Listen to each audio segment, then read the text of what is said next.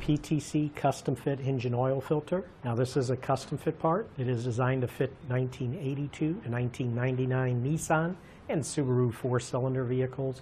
And because it fits so many different vehicles, I do recommend for you to go to our website, use the fit guide, put in your year and model vehicle, and it'll show if this will work for your application.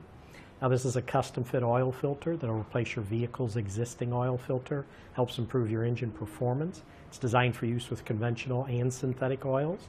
The filtration system will remove contaminants from your oil to help keep engine running efficiently. Does use on the inside of this filter a dense cellulose and glass blended media, which provides excellent circulation. And as you can see, it contains multiple holes for effective filtration, and it is capped with metal on both ends for durability. Does use a spring-activated bypass relief valve, which is pressure sensitive to prevent excess oil pressure, and it's more responsive than your traditional concave metal strip configurations. It's a heavy gauge steel canister, helps protect the filter from any damage during installation, and it does easily install to your oil filter assembly on the engine block of your vehicle. It does have this internally lubricated sealing gasket here for easy filter removal.